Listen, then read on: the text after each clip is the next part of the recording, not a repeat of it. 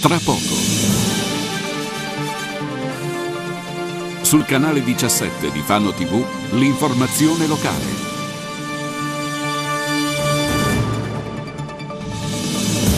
Rubano ostie consacrate nel convento dei Cappuccini a Fossombrone, indagano i carabinieri.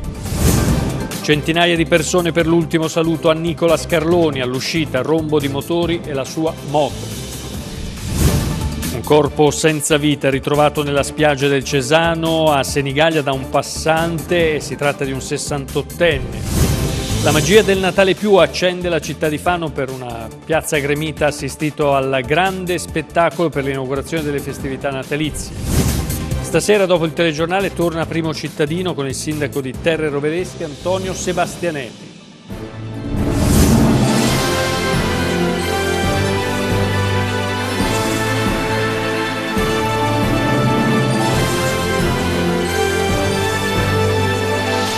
Questo è il telegiornale Occhio alla Notizia con Marco Ferri. Benvenuti a questa nuova edizione del telegiornale Occhio alla Notizia. Oggi pomeriggio alle 15 c'è stato il funerale di Nicolas Carloni, il giovane morto in un incidente stradale nei giorni scorsi. Tantissima gente, soprattutto giovani.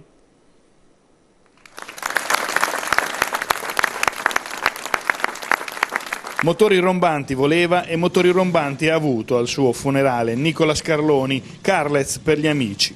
Questo pomeriggio alle 15 il feretro del ventenne che ha perso la vita in un tragico incidente stradale al treppio della sconfitta in zona Santa Veneranda a bordo della sua auto è arrivato sul sagrato della chiesa di Santo Stefano a Candelara scortato da rombanti moto compresa la sua che poi è entrata in chiesa assieme al suo casco ed è stata posizionata davanti al feretro moto che Niki non ha fatto in tempo a riparare ma che è stata riparata dai suoi amici di moto.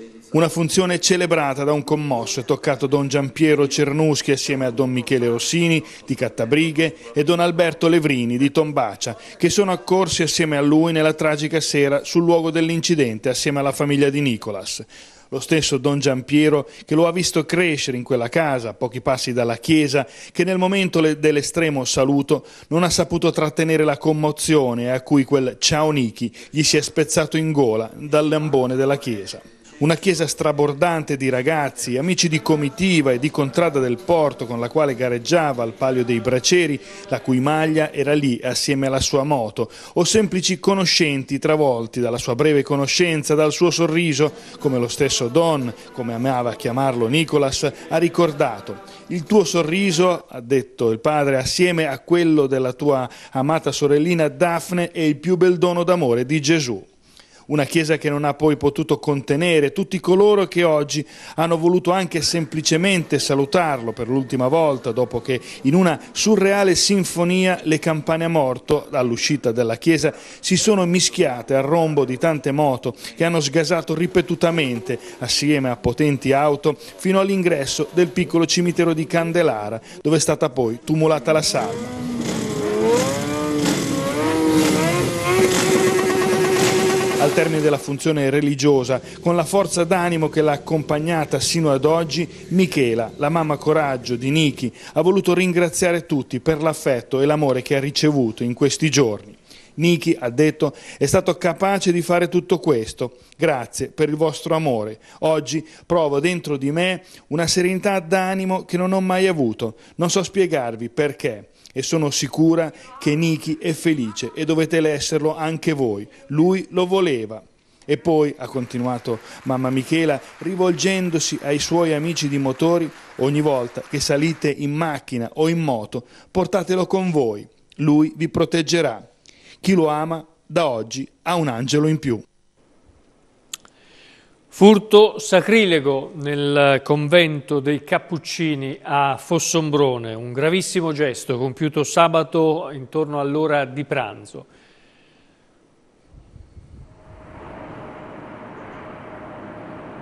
È sconvolta e frastornata la comunità dei frati cappuccini di Fossombrone per il grave gesto profanatorio accaduto sabato pomeriggio. Durante l'ora di pranzo, poco dopo le 13.30, ignoti si sono introdotti nella chiesa, profanando il tabernacolo e rubando il contenuto sacro al suo interno.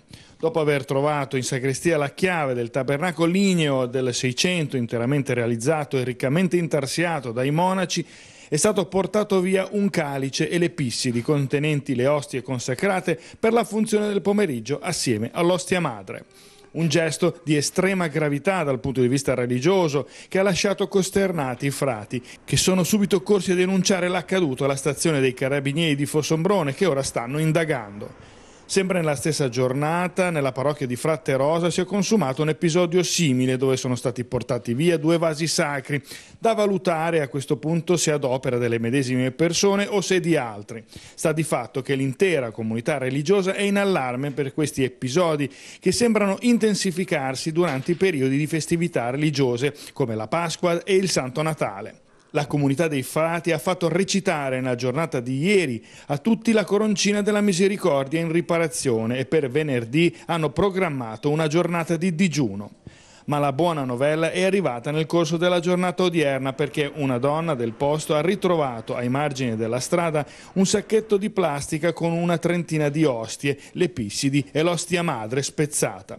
All'appello manca solo il calice, forse i ladri, pensando fosse di valore ed antico, se lo sono tenuti, ma in realtà è di modesto valore, se non quello affettivo, essendo un regalo fatto alla comunità dei frati abbastanza di recente. Il corpo senza vita di un eh, uomo di 68 anni di Senigallia è stato ritrovato questa mattina sulla spiaggia del Cesano, nella zona nord della città. Il cadavere è stato scoperto da un passante che ha dato l'allarme. L'uomo, secondo la testimonianza di un residente della zona, è stato visto cadere in acqua. Non è chiaro se si sia eh, se sia stato un incidente oppure un atto volontario. Sul posto sono intervenuti i sanitari del 118, la Guardia Costiera e i Carabinieri per identificare la eh, vittima che aveva con sé anche documenti. Poco distante dal luogo del ritrovamento del corpo, il personale dell'ufficio, locale marittimo ha, ri, ha, rinvenuto anche l'auto eh, del 68enne eh, rimasta aperta, all'interno nessun biglietto o nessuna traccia eh, che potesse far propendere per l'ipotesi del suicidio. Otto giorni fa il cadavere di un altro uomo senza apparenti segni di violenza era stato ritrovato sulla battigia vicino al lungomare Marconi a Senigallia. Un malore improvviso ha stroncato all'età di 46 anni Emanuele Mazzini, un uomo molto conosciuto nel quartiere di San Lazzaro a Fano, dove per anni ha gestito un bar insieme ai genitori. I funerali verranno celebrati domani mattina alle ore 9 nella chiesa di San Sebastiano a Bellocchi. Al termine del rito funebre la salma verrà tumulata nel cimitero di Rosciano di Fano. Cambiamo pagina, come per la terra anche per il mare si deve rispettare eh, la stagionalità, il ritmo delle stagioni e questo permetterebbe di acquistare bene e soprattutto a prezzi contenuti.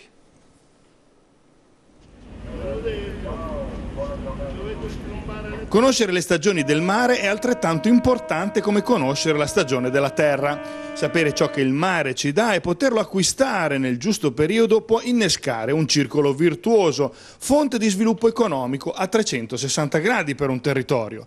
Soprattutto in zone di mare, in un'economia ittica ben radicata come a Fano, questo è maggiormente vero. In un'epoca di totale globalizzazione dei consumi in cui si trova di tutto in tutti i mesi dell'anno, si ha anche un appiattimento però delle economie di settore, soprattutto locali, che invece seguono la stagionalità.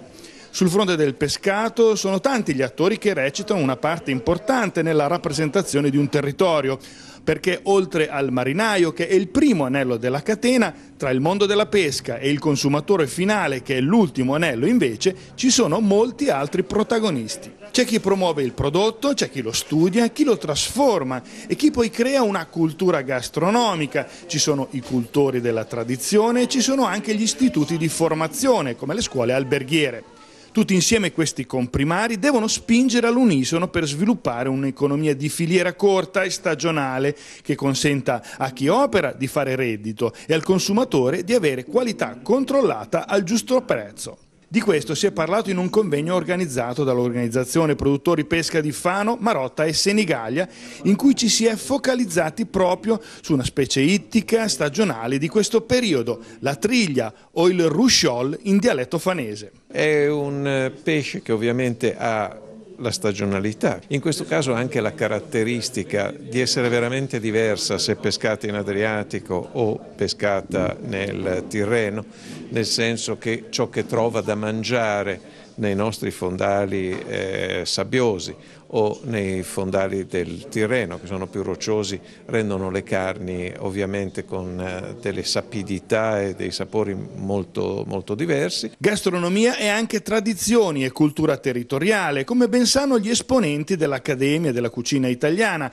paladini e custodi della cucina tradizionale regionale. È il cosiddetto pesce povero, povero non vuol dire niente, vuol dire solo che ha un costo abbordabile, ma non che sia meno ricco di proprietà nutritive, anzi il contrario, come in altri pesci poveri. Ma la triglia, tra l'altro, bene hanno fatto organizzare proprio in questo periodo, che è il periodo più ricco per la triglia, che comincia a venire più buono e anche a più buon mercato. Insomma. Conosciuta da molti per essere una componente più o meno stabile delle zuppe di pesce, la triglia e le sue carni pregiate hanno però infinite possibilità di utilizzo e trasformazione e abbiamo la possibilità di cucinarli in svariatissimi modi. Questo, la preparazione incide anche sul periodo. Per dire, a me amo tantissimo la triglia nel periodo invernale alla griglia perché è grassa, una carne grassa, saporita, per cui è eccezionale, ma in altri periodi dove magari c'è una carne magra, perché no buttarla nel bodetto o una preparazione tipo tiglia alla livornese per rendere l'idea. E cruda, marinata, è fantastica. E altre preparazioni, se viaggiamo nei dintorni dintorni di Ancona potremo trovare una preparazione con il prosciutto. Beh, insomma, gli spunti ve li abbiamo dati. Adesso invece andiamo a vedere quello che è successo ieri in una piazza 20 settembre a Fano gremitissima di gente, probabilmente eh, mai vista, eh, nel giorno in cui eh, si accende l'albero di Natale.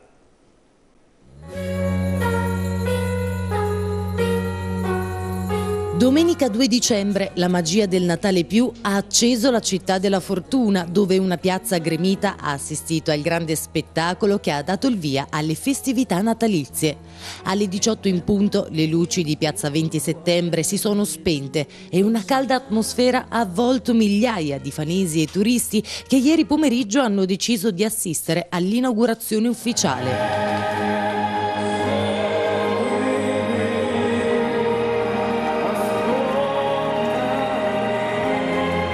Fare da apripista. Ci ha pensato il cantautore Luca Vagnini che, accompagnato dai giovani del coro Fra le note, diretto dal maestro Caselli, ha presentato alla città Il Natale sei tu, il singolo scritto appositamente per questa edizione. È un Natale che non puoi scordare tra le mille fiabe la più bella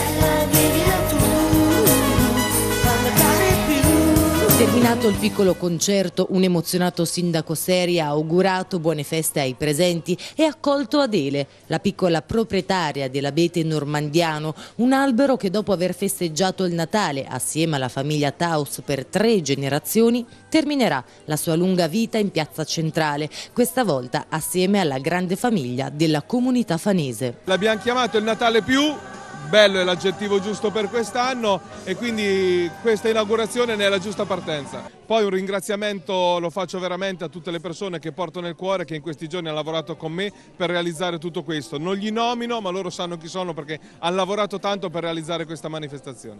Dopo la fase istituzionale, l'attrice Maria Cristina Nicolini ha dato il via all'accensione recitando la leggenda dell'albero di Natale. Un momento davvero toccante, sfociato in un crescendo di musica, suoni e luci, grazie ad oltre 30 teste rotanti, fino all'accensione delle decine di migliaia di LED sul grande abete. La magia dello spettacolo, curato da Ultrasound Eventi, è stata accompagnata dalle note di Follow Me di Andrea Bocelli, da alcune splendide fatte sui trampoli e da centinaia di palloncini che hanno contribuito a rendere ancora più suggestivo l'evento, fortemente voluto dagli organizzatori, il Comune e la Proloco. Ti è piaciuto lo spettacolo? Sì, molto. È la prima volta veramente che assisto allo spettacolo dell'accensione dell'albero. Sì, e mi è piaciuto molto. Complimenti. Di dove siete? Bravi tutti, di Fano. Di Fano? Sì. Prima volta lo spettacolo? Sì, ma perché diciamo che non amo la confusione, però invece è stato tutto molto anche ben organizzato e molto bello. Com'è stata questa inaugurazione ufficiale? Beh dai, molto, molto bella, ci è piaciuto un sacco. E lei sorride, è fantastica. Quindi vi è piaciuto? Sì, molto, molto. Una città così piena di gente non si era mai vista, ma non era solo la piazza, veramente tutte le vie. Ma la differenza è il calore che si è respirato, la forte emozione dell'inaugurazione dell'accensione, ma l'atmosfera che si respirava in tutta la città. Questa è la Fano che mi piace, questo è il Natale che ci piace, ma soprattutto è una città in festa, bella da vivere, bella da visitare e ogni giorno che seguirà ci saranno tanti motivi per venire a fare una passeggiata a Fano orgoglioso, soddisfatto ma soprattutto emozionato. E pochi metri più a nord, invece in un'altra piazza un po' più piccola e contenuta, ancora tanta gente per eh, la pista di ghiaccio.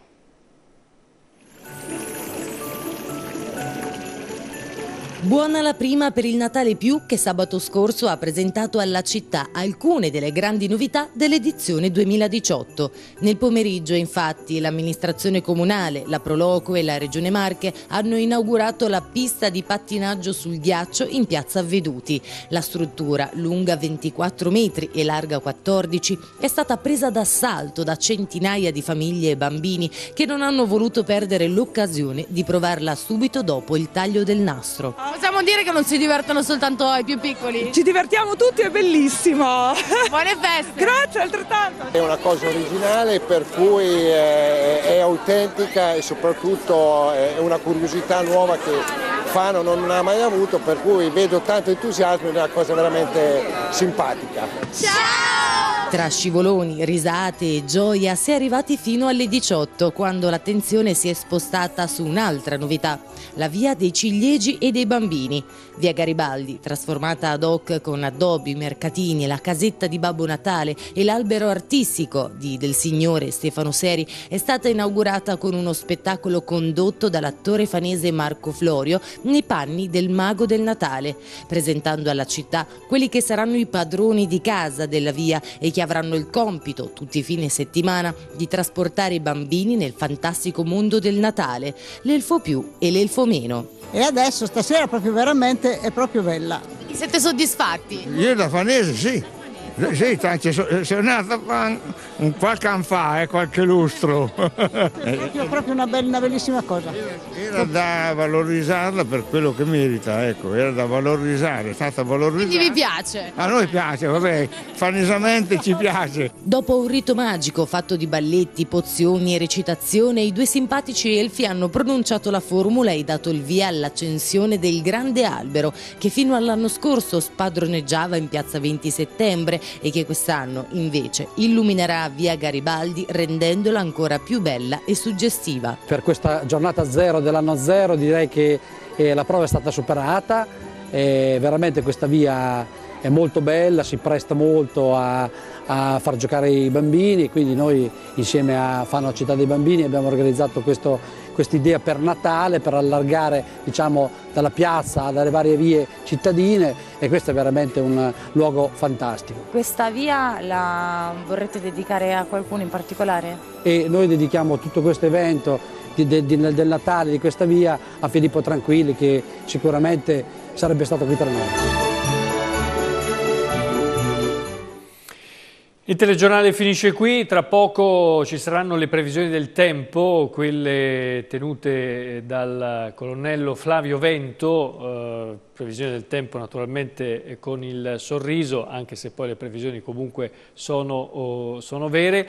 Poi subito dopo c'è la diretta con Primo Cittadino che questa sera eh, ospiterà il sindaco di Terre Roveresche Antonio Sebastianelli. Come vedete questi sono i numeri per mettersi in contatto con la nostra redazione, potete già cominciare a chiamare se volete andare in diretta 86 14 33 oppure se volete inviarci un messaggio con Whatsapp 338 4968 250. Subito dopo alle 22.30 ci sarà invece la partita di Serie A2 di pallavolo eh, persa dalla Golden Plast Potenza Picena che ha giocato ieri in quel di Mondovi in Piemonte. Grazie per essere stati con noi, l'informazione torna domani mattina alle 7.30 in diretta con Occhio ai Giornali. Arrivederci.